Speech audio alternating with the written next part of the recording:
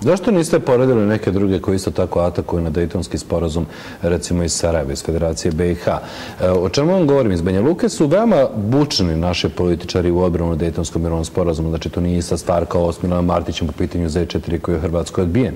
Naprotiv, ovo se traži striktno poštivanje sporazuma. E, Nijena politička opcija u Republike Srpskoj, koliko ja znam, nema u svom programu neku nezavisnost. Ucepljenja svi e, ovaj, drže i tekako do Dejtona. Nije to baš tako. Mislim da poredite babe i žabe. Hajmo prvo da razdvojimo uh, ovo što kažete šta piše u programu.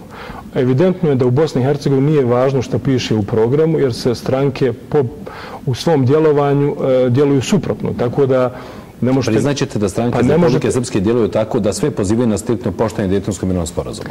Znači, ne možete vi da tvrdite da je uh, SNSD socijaldemokratska stranka, zato što im nešto piše u programu. Oni djeluju kao klasična etnička stranka, nacionalna stranka, tako da, tako da je to nevažno pitanje šta piše, a čime, šta oni zagovaraju. Ono što je, što je važna politika naše stranke i što je politički novum, nakon što smo se mi pojavili u aprilu 2008. godine, jeste da smo mi rekli da prihvatamo Dejtonski mirovni sporazum, da osuđujemo evo kad ste već rekli, bošnjačku političku, osuđujemo Harisa Sileđića i slične koji atakuju na Dayton tražeći ukidanje Republike Srpske i mi smo jasno rekli da smo protiv takvih. S druge strane smo također rekli da smo protiv nekih srpskih političara koji se zalažu također atakuju na Dayton zagovarajući nezavisnost Republike Srpske. I u tom smislu, u tom smislu smo mi dakle donijeli jednu, jednu novinu na političku scenu Bosne i Hercegovine gdje smo rekli da nakon 20 godina prepucavanja između Sarajeva, Banja Luke i Mostara smo dovedeni u poziciju da u ovoj zemlji živi 3,5 miliona siromaha. Mi smo prva stranka i potom se razlikujemo svi drugi stranaka koji u svom političkom programu rekla da ovu zemlju od siromaštva I od ovog stanja u kojem se nalazi može spasti samo partnerstvo između Banja Luke, Sarajeva i Mostara. I mi istinski stojimo na toj platformi da Sarajevo, Banja Luka i Mostar trebaju zajednički raditi, usaglašavati poteze sa Beogradom, Zagrebom, Briselom, Podgoricom, svim našim susjedima, kako bi ovih 3,5 miliona siromaha koji ovdje živi izašlo na neku zelenu granu. 3,5 miliona siromaha.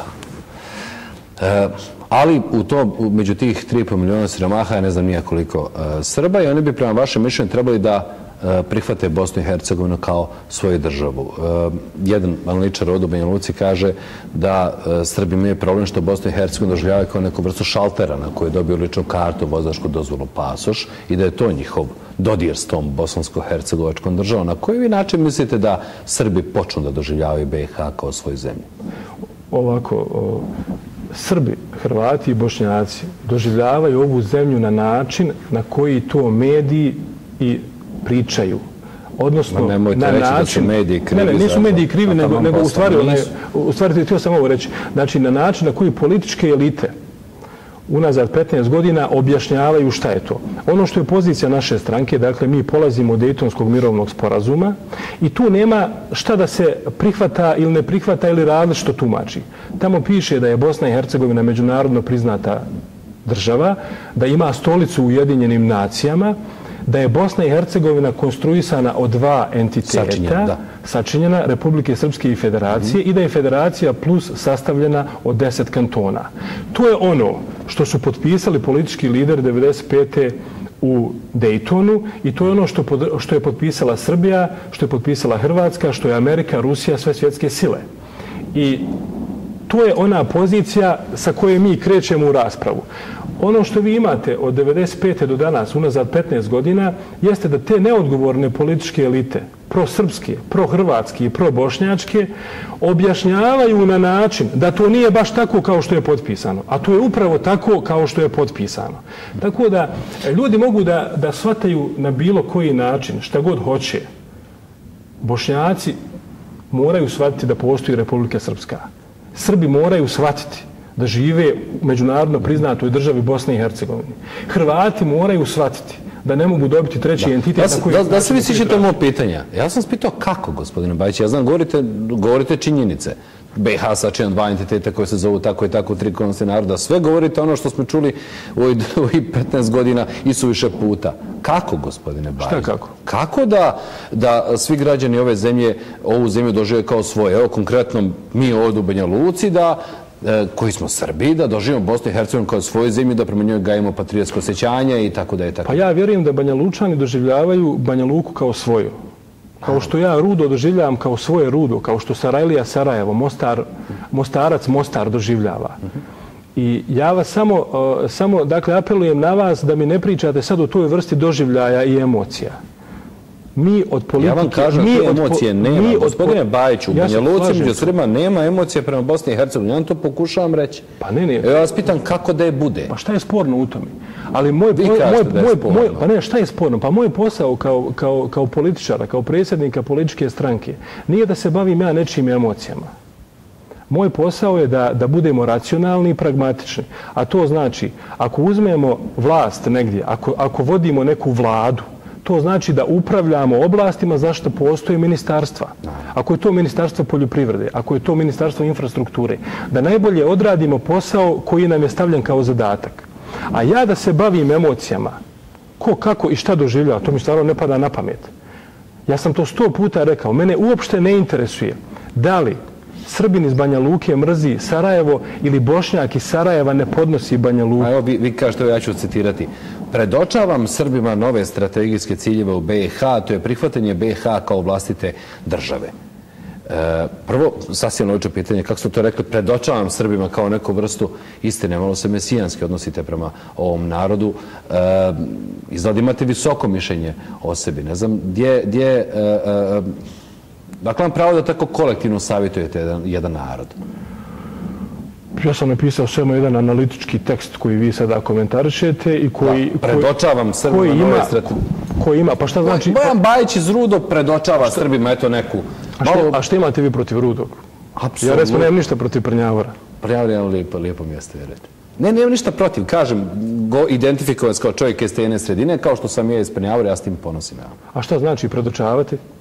Evo vi meni recite, vi ste napisali, pa, predočavate ljudima. Pa predo... Meni to, evo, ne, neko pa nešto nije znao, ja ću da mu predočim. Pa, pa pazite, znači, u tom autorskom tekstu ja predočavam svoje mišljenje, u kome kažem da Srbi u Bosni i Hercegovini imaju tri opcije.